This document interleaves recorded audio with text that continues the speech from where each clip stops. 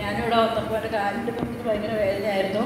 അണ്ട് ഞാൻ ആദ്യത്തെ അഭിഷേകത്തിന് ഞാൻ തിരിച്ചപ്പോൾ പുള്ളി ചാടി ഇപ്പോഴും ചാടി. പക്ഷേ ഇന്നലെയൊക്കെ എനിക്ക് വയറിൽ കിടന്ന് കേൾപ്പൊക്കെ വന്നേച്ച് ഛർദ്ദിക്കാൻ വേണ്ടി എനിക്ക് മനം മറിഞ്ഞു വന്നു ആദ്യം ഉച്ചയ്ക്ക് ശ്രമിക്കോട്ടെ ഛർദ്ദിച്ചു. ഇച്ചിരി വെള്ളം മറന്നു പോയി.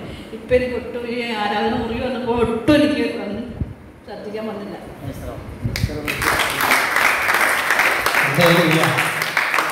അമ്മയ്ക്ക് കാപ്പി കുടിക്കാൻ പറഞ്ഞാൽ നമ്മൾ ഉച്ചയ്ക്ക് നന്നായിട്ടൊരു വർഷിപ്പ് നടത്തിയല്ലോ. ആ വർഷിപ്പ് നടത്തി കഴിഞ്ഞാൽ ഇപ്പം അമ്മച്ചിനോട് പറഞ്ഞ് ഇങ്ങനെ സ്തുതി ചെയ്ത് ഇങ്ങനെ വർഷിപ്പ് നമുക്ക് ഛർദ്ദിക്കാൻ പറ്റുവാണ് വളരെ അതുകൊണ്ട് ഞാൻ വിഷുവിൽ കൂടെ ഒക്കെ മേടിച്ചോട് കൊണ്ടുവയ്ക്കാന്ന് പറഞ്ഞു. നമ്മൾ ഞാൻ ഒന്നും ആവശ്യമില്ല അമ്മച്ചി.